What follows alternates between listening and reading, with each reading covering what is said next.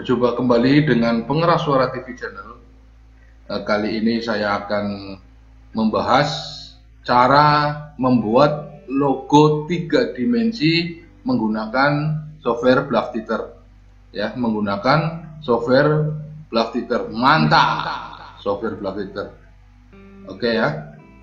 Namun sebelum melangkah ke software Blaftitter, kita membutuhkan satu peralatan yaitu logo ya, karena di sini admin sudah mempunyai logo jadi kita praktekkan saja menggunakan Photoshop dulu. Oke kita open. Nah ini kebetulan admin sudah punya logo kita klik saja klik open kita masukkan ke Photoshop. Good. Nah jauh. Tentunya logo yang akan punya pun terdiri dari berbagai macam warna. Hitam semua pun tidak masalah. Ya, tapi kebetulan di sini admin mempunyai logo yang berwarna-warni. Nah, langkah pertama kita memerlukan dua logo, tampilan dua logo. Satu yang berwarna-warni seperti ini, logo asli, dan satunya lagi adalah yang murni berwarna putih. Nah, untuk membuat logo ini murni berwarna putih, kita lakukan klik image, klik adjustment, klik hue saturation. Nah, pada jendela hue saturation ini di kolom di slide bukan kolom ya di slide likeness kita tarik ke kanan full sampai mentok. Nah, terlihat di sini menjadi putih semua. Kita klik OK. Nah, langkah selanjutnya adalah kita klik save as. Nah, make sure ya dalam membuat logo tiga dimensi untuk keperluan video editing tentunya tidak memerlukan background sama sekali. Sehingga proses penyimpanan dari Photoshop ini penyimpanan logo yang kita butuhkan adalah format PNG atau PNG ya PNG PNG oke? Setelah kita kasih nama kita klik save. Nah kebetulan di sini admin sudah menyimpan ini. Ini sudah menyimpan ya jadi saya cancel aja karena admin tidak membutuhkan. Kalau akan-akan yang membutuhkan silakan simpan dalam format PNG. Gambar tanpa background. Oke, sampai sini paham? Ya, saya cancel aja. Lalu saya tutup Photoshopnya. Sementara tidak butuh dulu. Oke. Lalu kita menuju ke software Plugin. Nah, tampilan pertama senantiasa adalah secara default uh, template yang sudah disediakan oleh Blogfitter. Sekarang kita klik New Show. Nah ini karena Blogfitternya ini tulisan Blogfitter saya tidak membutuhkan, saya delete aja menggunakan tool delete active layer. Kita cek dulu berapa durasi yang kita perlukan. Ternyata secara default Blogfitter menyediakan 4 second ini bisa ditambah sesuka hati akan mau berapa detik, bisa 10 detik, 30 detik, 1 menit, 10 menit pun bisa, 1 jam pun bisa. Tapi untuk sementara saya tetapkan dulu ini 4 second, jadi kita cancel aja. Ini durasinya 4 detik. Oke, langkah pertama adalah kita klik menu layer, kita add layer, kita add like layer ini yang pertama. Yang kedua, kita add layer lagi, kita klik add container layer. Langkah yang ketiga, kita klik layer, add layer, kita menuju add trace picture layer. Oke, akan diarahkan ke sini ke logo yang sudah kita persiapkan tadi di Photoshop. Nah, kita ambil logo yang berwarna putih kita klik open. Klik yes. Nah ini sudah ada sudah ada logo yang masuk. Terus kita pastikan layer yang aktif adalah layer logo yang putih itu. Ini di layer 5 trace picture logo ikasi putih. Nah langkah pertama tentunya kita besarkan dulu dengan cara klik menu pada text position tag position. Ingat ya ini tag position. Ini ada tiga slide. Satu dua tiga di atas yang di tengah dan yang di bawah. Kita besarkan dengan cara mengklik slide yang paling bawah kita geser ke kiri. Nah seperti ini. Ini sudah cukup. Lalu kita miringkan software ini ke samping. Kalau ini kan menghadap ke depan dengan cara kita klik container oke? Okay. ya make sure yakinkan layer yang aktif adalah layer container. Lalu di posisi container kita kita klik rotation. Nih rotation putaran. Kita dan di slide. Yang pertama kita geser ke arah kiri. Sudah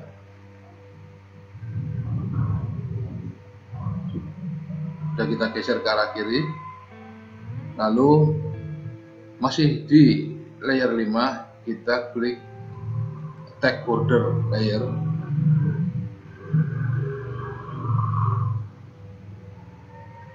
Dan kita klik bevel silver layer. Klik open. Nah ada semacam profil di tepi-tepi kamu oke. Namun kali ini saya ingin mengurangi bevelnya agar profilan itu hilang sementara. Sudah hilang. Kemudian kita perlu memutar logo ini secara 90 derajat. Nah seperti ini. Oke masih bekerja dengan layer 5 kita clone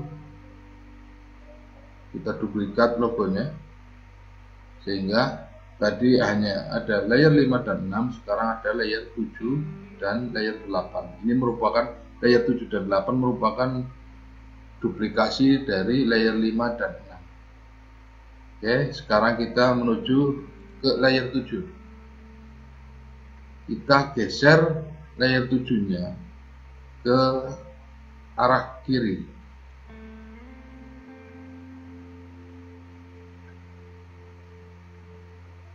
Ke arah kiri. Ini bisa menggunakan keyboard yang akan punya ya yang di komputer ya. Seperti ini kita kita kita butuhkan adalah tanda panah yang ke kiri dan yang ke kanan. Ini saya langsung dari keyboard. Uh, kebalik nah seperti ini. Sampai dengan ini menempel dengan sempurna. Nah sudah. Kita menempel dengan sempurna. Kita kembali lagi ke layer 5 kita duplikasi lagi. Sekarang ada layer 5 6 7 8 9 10 nah layer yang 9 10 ini layer yang duplikasi terbaru. Kita klik layer 9 lalu kita geser lagi ke kanan menggunakan ini keyboard. Nggak terlalu jauh. Nah, ini pakai keyboard saja ya. Nah seperti ini.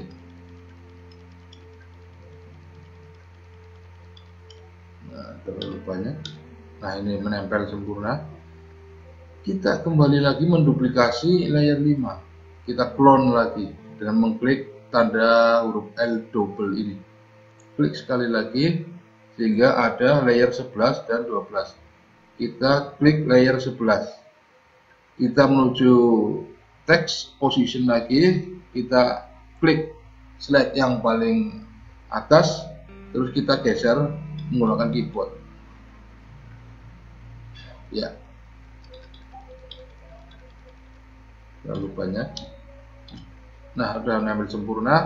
Kita menuju layer 5 lagi kita duplikasi sekali lagi. Oke sehingga timbul layer 13 dan layer 14 kita bekerja saat ini dengan layer 13 untuk menggeser untuk menggeser logo duplikasi ke arah kanan. Ini kita geser saya menggunakan keyboard. Kita geser terlalu banyak. Nah, seperti ini. Ini sudah sudah memiliki lima lapis, lima lapis um, software, uh, software logo ya, lima lapis logo. Sekarang saatnya untuk memberikan pewarnaan. Nah, kali ini untuk memberikan warna agar terlihat indah, kita menuju layer 6. Layer 6, terus ini kita pastikan di menu color. Menu color, kita coba rubah warna dengan merubah slide yang paling tengah ke kiri. Ya sehingga berubah. Terus yang di sisi kanan kirinya kita tidak perlu ubah. Kita tetap menggunakan warna silver ini. Kita langsung menuju ke layer 12 layer 12 kita geser ininya menjadi warna hijau. Oke setelah layer 12 kita menuju layer 14 tadi kita rubah lagi sehingga kanan dan kiri pun sama. Nah kita kembali ke layer 6 warna ini coba kita akan berikan efek uh, seperti pantulan atau reflektif dari lantai. Dengan cara ini kita change effects change effects terus kita klik select effects. Select effects kita akan dibawa ke media effects dari Platider kita klik V11 kita cari reflection floor RR mana R reflection floor underscore cube matte DDS ini kita pakai. Kita klik kita klik open. Kita klik OK nah ini akan menjadi seperti ini perubahannya ya. Dari tadi ini coba kita undo dulu agar terlihat perubahannya.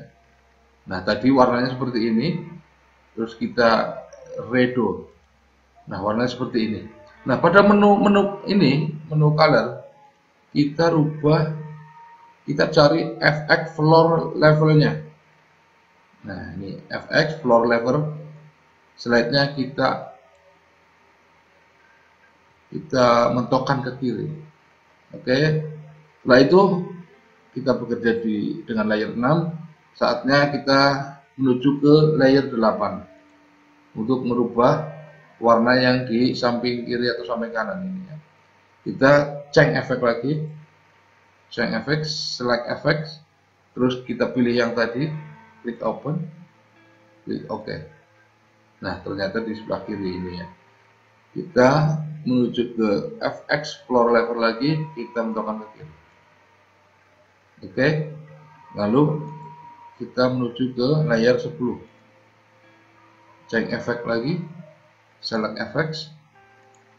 Pilih reflective floor eh, cube map DDS, klik open, klik OK. Samping kanannya ini. Terus menuju ke FX floor level. Kita turunkan sampai mentok. Oke. Setelah dengan F, eh, layer 10 kita menuju layer 12 seperti tadi lagi. Select FX pilih ini open. Oke menuju FX floor level.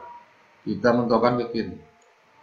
Oke terakhir kita menuju ke layer 14 layer 14 kita cek efek lagi. Kita select effects kita pilih reflective floor. Kita open. Kita oke. Okay.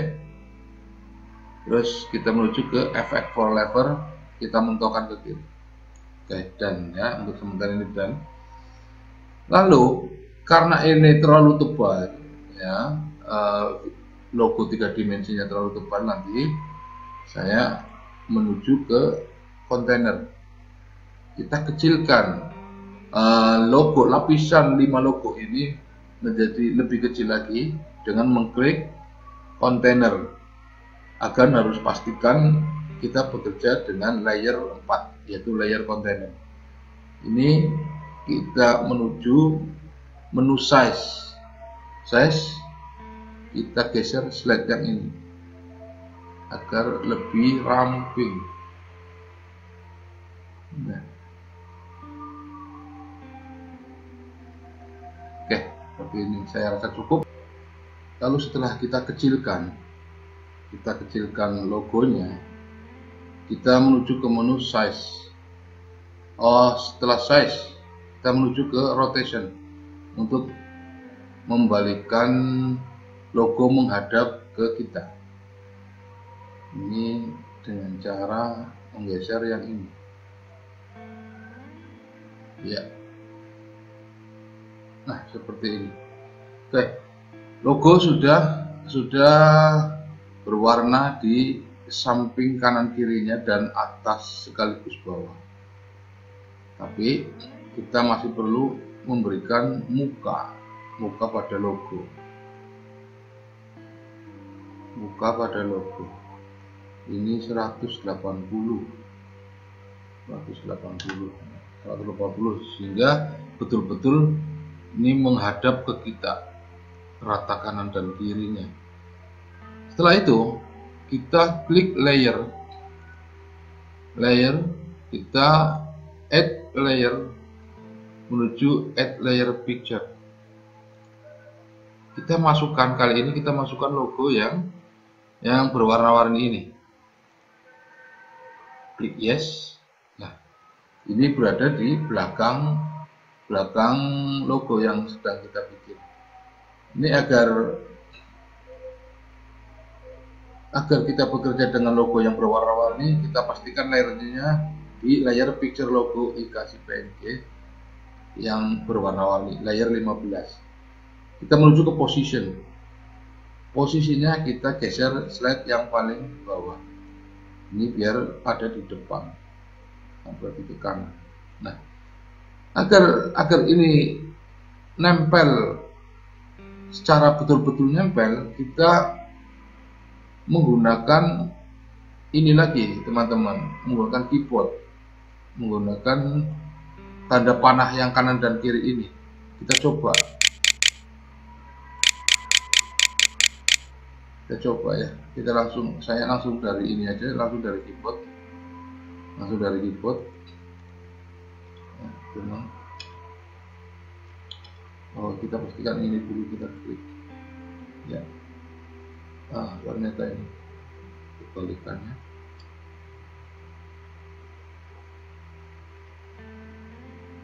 terlalu banyak harus ngikutnya harus satu-satu Nah, seperti ini. Satu lagi. Nah, ini tentunya logo yang berwarna-warni ini, ini masih terlalu besar. Kita perlu kecilkan dulu dengan mengklik size. Kita geser size-nya. Nah, ini coba kita paskan posisinya dulu. Position, kita tarik ke atas. Ini bisa langsung menekan di gambarnya dengan cara mengarahkan mouse lalu klik kiri tahan. Kita geser ke kanan eh ke atas. Ya nah ini kembali lagi ke size. Ini yang slide nya di tengah kita rubah lagi karena ini masih terlalu besar. Ya kita kembali ke slide position.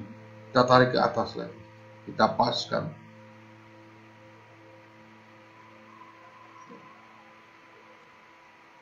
Kita bisa menggunakan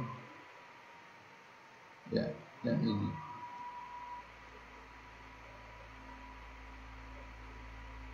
Kita paskan lagi nah ini masih ini masih kebanyakan. Ini kita turunkan lagi. Oh bukan bukan ini maksudnya klik size. Big size? Ini terlalu banyak tadi pengurangannya. Kita turunkan lagi yang sebelah tengah ini. Terlalu banyak ini coba pakai yang ini? Pakai keyboard. Ya. kita kembali ke posisi lagi. Memang di bagian ini sedikit sulit. Sulit. Dalam memposisikan logonya. Biar betul-betul pas di tempatnya ya. kita kembali ke size. Sepertinya yang yang di atas kurang lebar sedikit. Terlalu banyak. Kita pakai keyboard aja. ya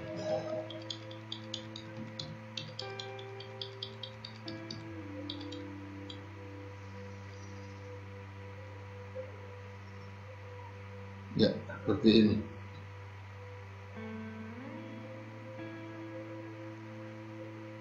Oke. Lalu langkah selanjutnya adalah kita menuju ke layer container. Kita klik rotationnya. Kita balikkan. Nah seperti ini. Kita akan memberi muka yang yang sisi satunya Lalu kita menuju ke layer logo yang berwarna-warni tadi yaitu layer 15. Kita butuh menduplikasi layer 15-nya. Kita klik saja, terus kita klik positionnya. Kita tarik ke depan sini.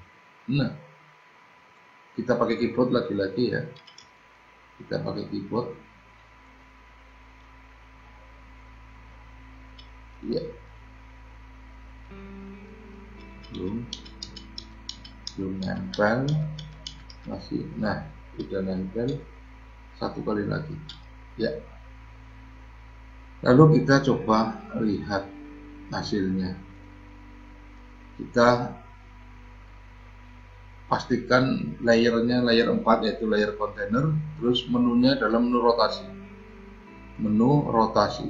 Ya kita rubah slide yang ini sudah jadi teman-teman. Oke? Tampak indah sekali logo yang tadinya flat atau dua dimensi menjadi logo yang tiga dimensi dan penuh warna seperti ini. Ini sangat bagus sekali apabila teman-teman membuat video intro atau video bumper musik suatu event tentunya logonya disesuaikan logonya akan tentang event tersebut ini bisa dijadikan animasi logo tinggal nanti akan-akan semua memberikan efek sound yang yang menakjubkan sih eh, dan juga efek pergerakan dari logo perputaran logo dari mana datangnya akan berputar ke kiri atau ke kanan atau ke atas dan ke bawah ini seperti ini teman-teman ya.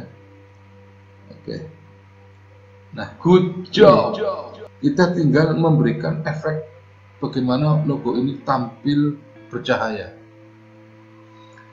Kita klik yang ini, yang di kontainer, eh, di layer, kita pastikan bekerja di layer 5. Layer 5 yaitu Trace Picture logo IKC putih. Lalu kita klik Attack Particle to Active Layer kita taruh sparkles 3 kita klik open. Mantap! Di situ sudah nampak bintang-bintangnya. Bintang kita bisa di layer particle flare. Kita bisa rubah color dari bintang tersebut. Colornya kita rubah agar sedikit indah. Itu sudah muncul biru biru muda. Ada sedikit hijaunya. Biru muda ada sedikit hijaunya. Seperti itu. Jadi sesuai dengan um, warna yang ada di logo. Oke? Okay? karena ini bintangnya terkesan terlalu besar kita bisa kecilkan size nya ini particle size. Particle size nya kita kurangi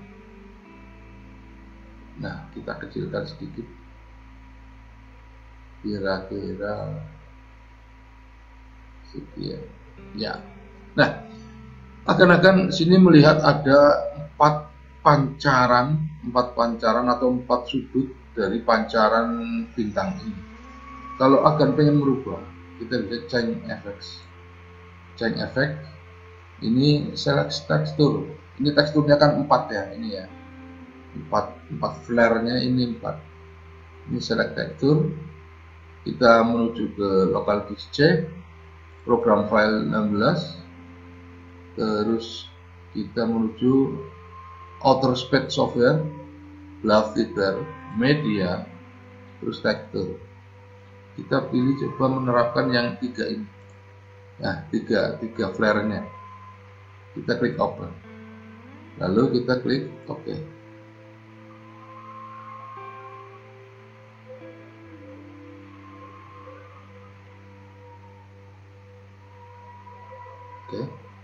Nah, sini saya akan mencoba membuat perputaran videonya ya. Perputaran videonya itu dengan cara klik kontainer layer kontainer lalu kita coba rotasikan. Ini katakanlah ini di awal nol ya. Nah sudah. Kita rubah di sini. Kita putar. Kita rubah di sini kita putar lagi. Kita rubah di sini kita putar lagi. Kita tarik slide-nya di sini frame slide frame. Kita putar yang bawah. Slide frame lagi kita putar lagi. Ya kita putar lagi. Kita putar lagi full oke kita coba mainkan